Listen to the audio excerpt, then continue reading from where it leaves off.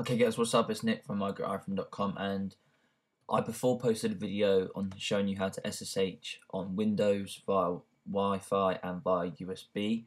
So today, for you Mac users out there, I'm going to show you how to SSH on Mac via Wi-Fi. So of course you're going to need a jailbroken device.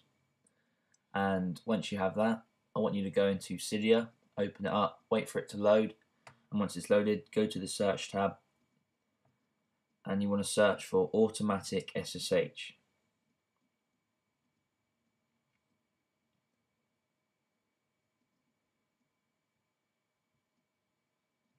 Okay, so once you have that, click on it, top right corner install, top right corner confirm.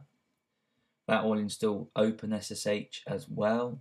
So once you have that, you can X out of Cydia and come over to this link which I'll provide in the description.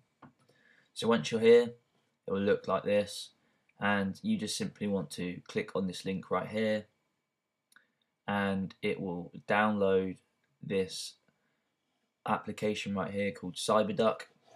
It will download that once you click here and once you have it we can exit out of there and go to wherever you saved CyberDuck. So once you have it, it will look something like this. You want to go to this bit up here, open connection, and you'll get this little drop down menu.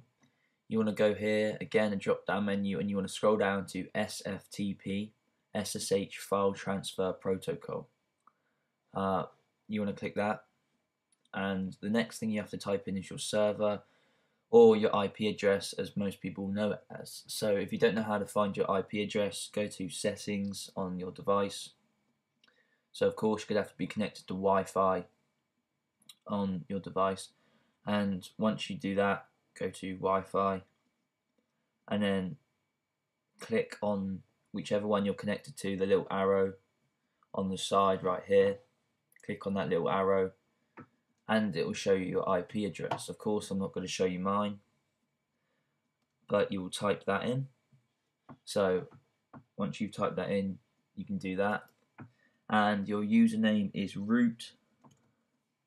And for most of you your password will be alpine. If you want me to do a video on how to change your password so you won't get um, hacked into by that uh, whatever it's called um, Rick roll that's it. Rick roll if you don't want to be Rick rolled or anything like that um, just leave a comment down below and I'll make a video on that as soon as possible but most of it will be most of yours passwords will be Alpine. But if not, then you can just type in your password. So there's my password, and I'm just going to cut the video here so I can type in my IP address and we can get into the files. Okay, so once you're connected, you'll get this, and you just want to go back to private, and you'll see all your files, or you can go all the way back, and you'll be here very much similar to WinSCP, all the same stuff, just on a Mac. Very simple to do.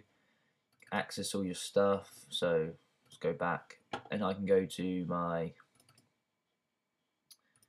themes. There's all my themes right there, so I can access all them, and anything else you can do when you are when you are SSH'd into your device. So that's pretty much it, guys. It's how to SSH on a Mac. Don't forget to um, install automatic SSH before you go and download CyberDuck. But there you go, very simple to do, very easy. And um, that's about it guys, I'll catch you guys real soon next video. Peace.